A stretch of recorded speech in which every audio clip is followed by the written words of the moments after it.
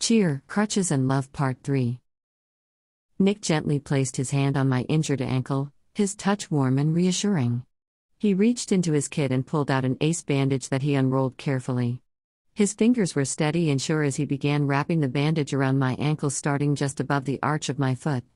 He worked with a practiced ease, pulling the bandage snugly but not too tight, making sure each layer overlapped the previous one just enough to provide support. He continued wrapping and moving upward with precision. The bandage felt so nice on my ankle like a protective cocoon, the pressure soothing against the swelling. His hands and his focus entirely on making sure my ankle was properly supported. When he reached the top just below my calf, he secured the bandage with metal clips, ensuring it would stay in place. There, he said softly, finally looking up from my ankle and leg at me again. That should help with the swelling and keep your ankle stable. But you need to stay off it as much as possible for the next few days, okay? It feels good, thanks. The pressure was soothing against the swelling, and I couldn't help but feel a little thrill with his hands on my long leg. He gave me crutches, and I made my way slowly back to my dorm room, my mind already racing ahead to our next session.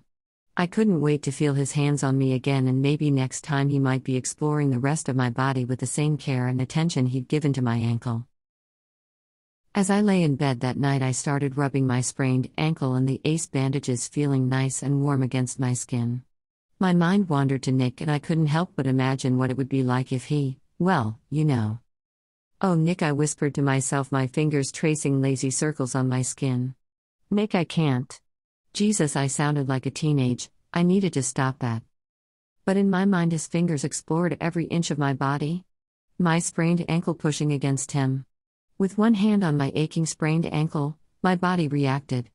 Despite the nagging pain in my ankle, I found myself feeling more alive than I had in quite some time. As I drifted off to sleep and I felt a strange sense of comfort and security wash over me. It was as if simply knowing that Nick was out there somewhere ready and waiting to help me through whatever challenges lay ahead, was enough to make me feel as if I could conquer the world even with a bad ankle that could get worse. And it was that thought that ultimately took me into a deep and restful slumber.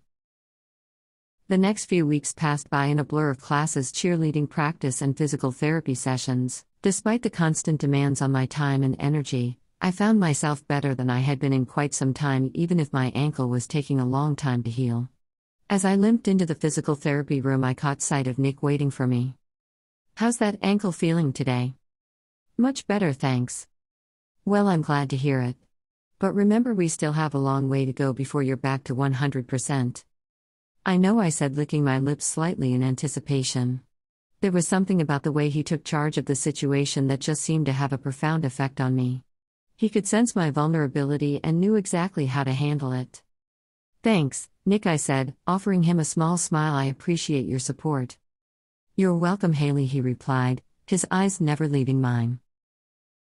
The next morning, when I woke, I knew it was the day of our first official cheerleading practice, and excitement was coursing through my veins.